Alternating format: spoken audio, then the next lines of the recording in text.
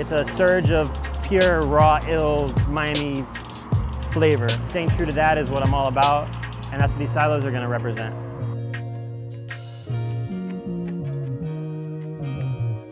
I've never painted a canvas like this before, with this kind of dimension and this kind of scale vertically. It's about 75 feet off the ground. First conquering the fear of you know, being so vulnerable. When I first got up there though, I was pretty scared.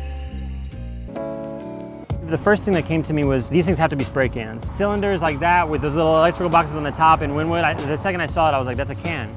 The silos have a spray can like effect. They, they actually have spray coming out of them and spiraling around the cans. And in the spray, you're gonna see letters, pieces, characters. Those were all influenced by the 90s graffiti boom and I'm very concerned with you know keeping Miami's graffiti history intact. All the artists that inspired me from back in the 90s when I started painting here. It's really like a representation of all those crews that put so much energy in and didn't have the opportunities that I have today.